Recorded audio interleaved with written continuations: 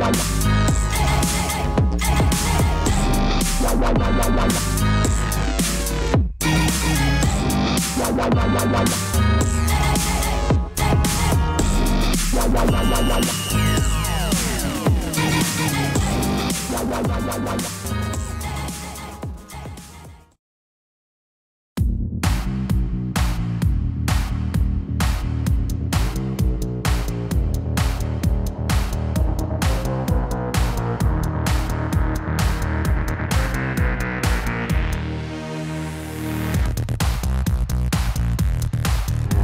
What's up guys, welcome back to the channel. And today I'm out with my R6 again.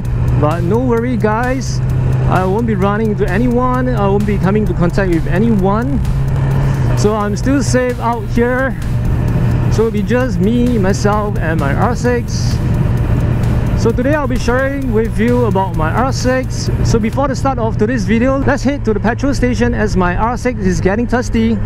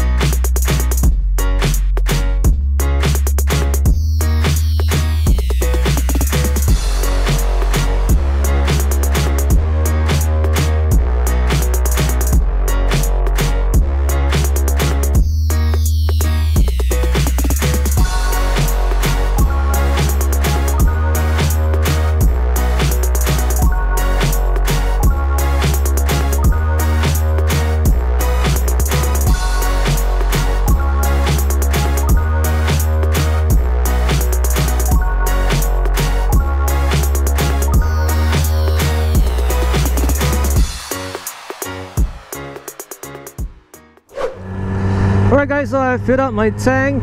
So ever since I started my YouTube motovlog channel, I've been riding my R6.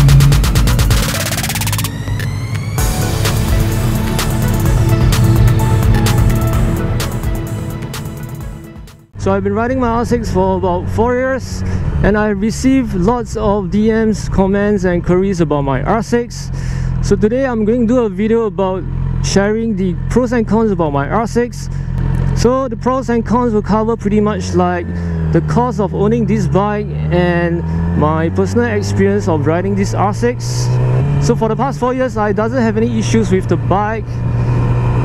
The bike doesn't give me any problem so the only issues I have two years ago back in 2008 is the jerking issue. So initially I thought it was the spark plug issues. So I went to the workshop to get a new spark plug replacement. But until the next day the jerking issues still persists so I went back to the bike shop again to get the workshop guys to diagnose the issue for me. And they found that it was actually the ignition coil that caused misfiring and this is the reason why my bike is jerking badly. So I left my bike at the workshop for about two weeks to get it fixed. So other than the jerking issue will be those wear and tear parts like the tires, brake pads, chain and sprockets. And the cost of these wear and tear parts are pretty much the same for all bikes because these wear and tear parts are universal. They can be widely used on any bikes so the spare parts for this Yamaha R6 is pretty cheap unless you're talking about the Continental bikes as you guys know Continental bikes are very expensive the spare parts for the Continental bikes are also expensive and they requires a longer time to order and ship it over to Singapore. This is the reason why I'm not riding a Continental bike.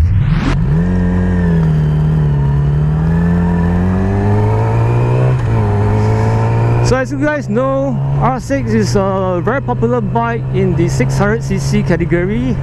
And this bike, it doesn't suit everyone who is not that tall. So I'm about 166 cm tall. And this bike suits me really well. Although when the bike is at a stationary position it requires me to tiptoe quite a bit but I'm still feeling comfortable with the bike. So R6 is one of the tallest bike in the 600cc category. It has a seat height of 850 mm So with a high seat height and a low handlebar position, it will make your riding posture pretty aggressive. So after a long period of riding, you'll feel the numbness on the finger, you'll feel the soreness on your palm and there will be redness on your palm. But right now I'm wearing a glove, so you guys won't be able to see the redness on my palm. So R6 is also well known to have a hot engine. So after a long period of riding, there will be a burn mark on your shin and your inner thigh of a leg. So every time when I ride my R6, I will always wear a long pants. It will also give you an additional protection while we are riding.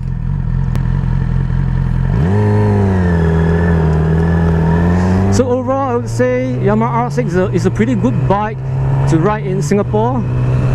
The power is decent, the insurance premium is low, the road tax is also low, and the handling is fabulous. It maneuvers around the traffic really well.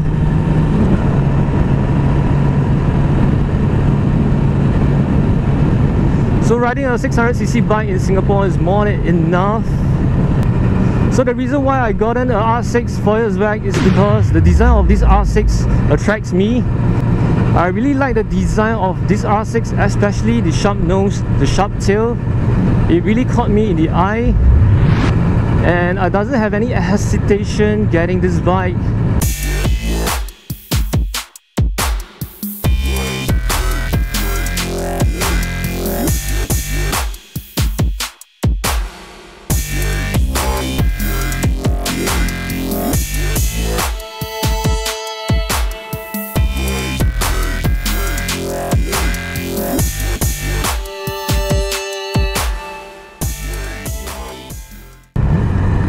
So if you were to ask me which bike is the best looking bike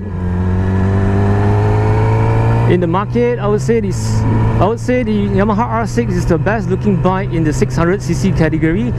Unless you're talking about the 1000cc bike, I would say the BMW S1000RR is the most beautiful bike in the 1000cc category.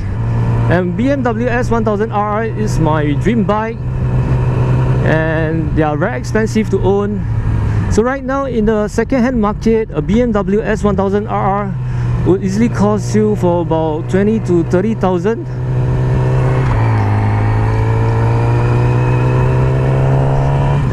Because BMW consider a continental bike, the bike is expensive, the spare parts is also expensive.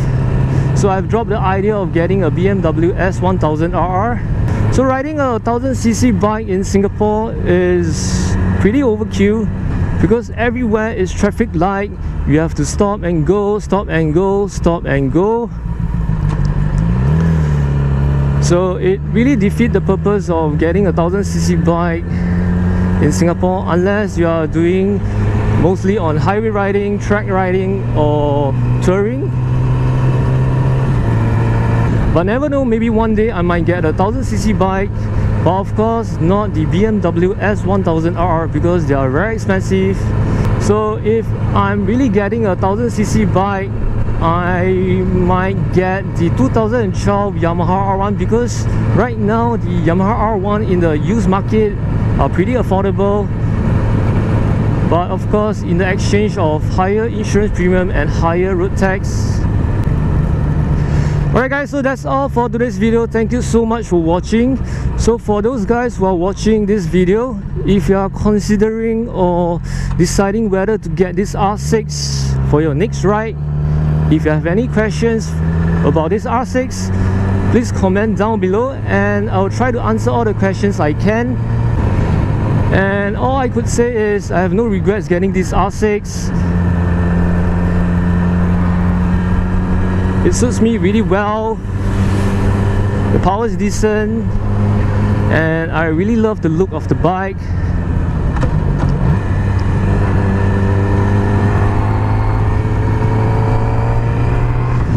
And also, please do remember to like and subscribe to my channel. And I'll see you guys in the next video. Ride safe, stay safe, and bye!